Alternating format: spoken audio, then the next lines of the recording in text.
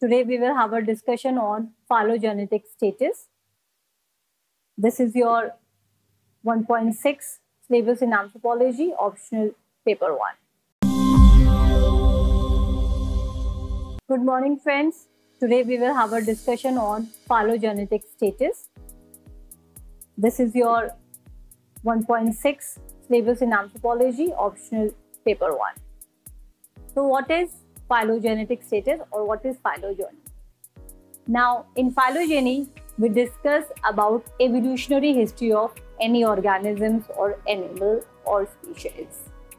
Now this year UPSC asked question that discuss major species of Australopithecus which was discovered from South and East Africa, describe the discovery, physical features and significance of Taung baby. Okay, so in this we do have to reflect on phylogeny or phylogenetic status of Australopithecines. Okay, so let's have a discussion on Australopithecus.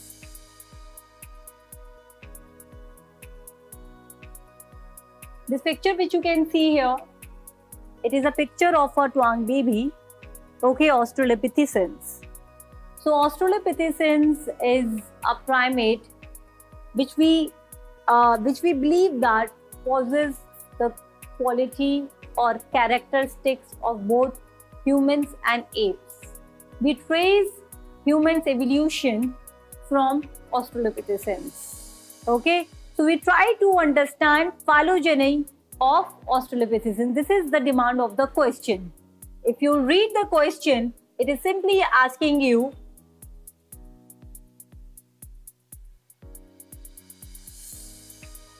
major species of Australopithecus. Okay, so we do have robustus form, we do have a gracile form, we do have a Africanus, Afarensis. You know, all these are the species of Australopithecines and it is talking from South and East Africa.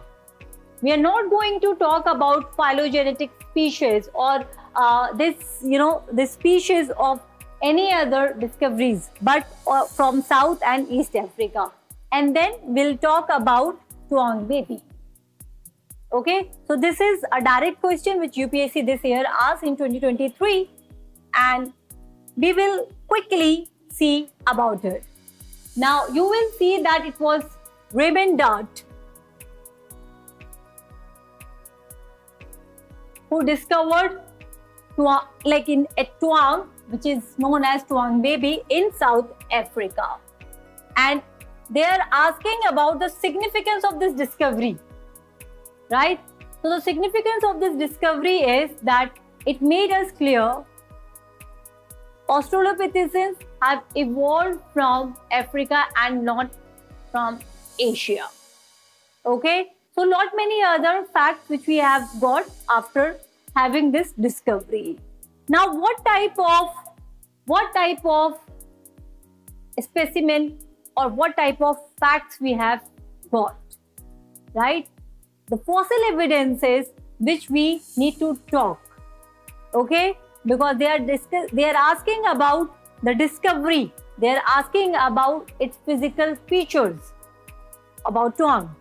So we do have to discuss about the evidences such as which part we have found. So we have found mandible, facial skeleton, endocranial parts of a child and that's why we have given the name Australopithecus africanus. What is austral? Austral means it's like Pithecus means apes. Like Australia is south and ape, south ape. And we have found about Australopithecines in where? In South and East Africa. So during Pliocene period, we have got this hominids. So hominids is for the classification in which we includes primates and uh, those primates who has been uh, like no now they are no more extinct and even the those primates which are today alive.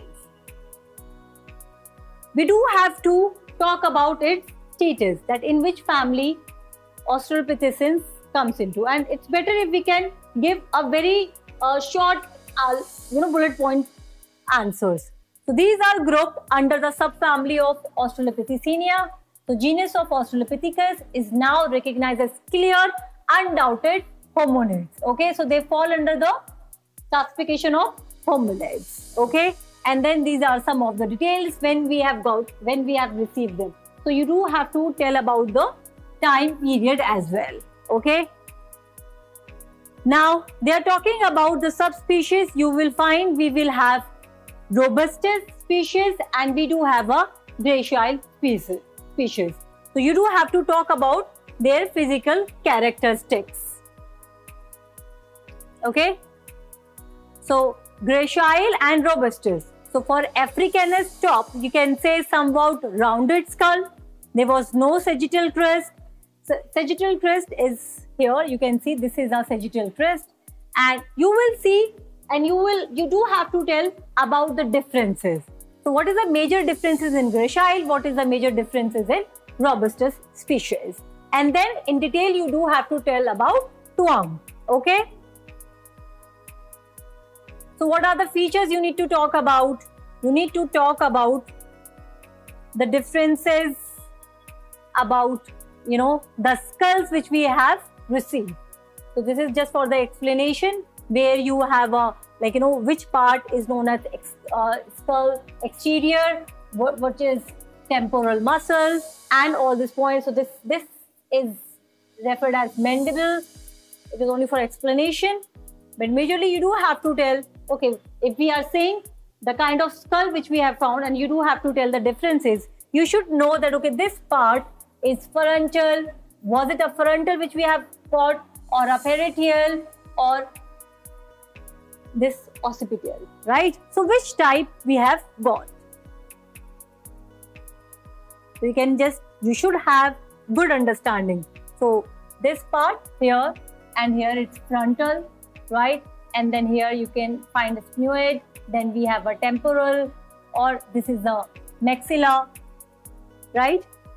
And the sagittal crest i was talking about which very which is really very important. Now we don't see the sagittal crest it is here this okay? And this is a mandible. So mandible is like very important to understand and to show the differences okay? You do have to make these diagrams, right? So practice will help you to get the, uh, like, you know, to get the perfection. It's okay even if you are not able to make the perfect pictures of the skulls, but you do have to make the pictures. You need to show the differences, okay? And then you do have to tell about their differences. So what is the differences between Gracile Australopithecines and robust, which is often known as Paranthropus? The main difference between gracile and robust is that gracile species had smaller cheek teeth, pronounced prognathism, less flared cheeks and no sagittal crest. But robust species had enormous cheek teeth, robust jaws and massive jaw muscles sometimes anchored to a bony crest running along the top of the skull and furthermore discussions. Okay.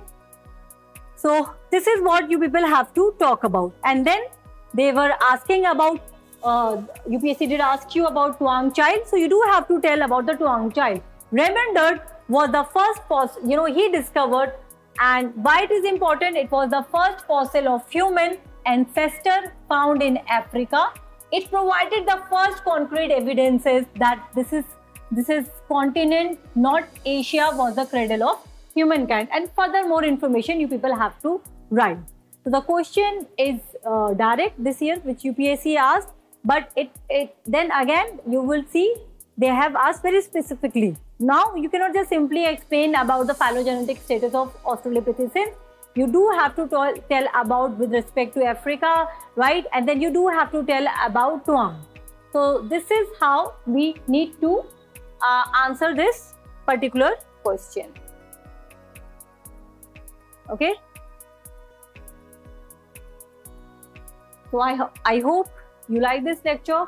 Thank you